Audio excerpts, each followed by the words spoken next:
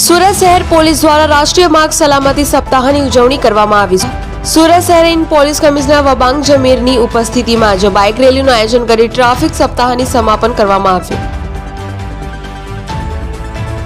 Police હેડક્વાર્ટરથી Y junction ફરી અથવા lines ખાતે બાઇક રેલીનું આયોજન કરવામાં આવ્યું હતું. ટ્રાફિક પોલીસ ટીઆરબી જવાનો અને એફઓપીની ટીમ રેલીમાં જોડાયા હતા. ડીસીપી, એસીપી, પીઆઈ, પીએસઆઈ સહિતના પોલીસ સ્ટાફ રેલીમાં જોડાયો હતો.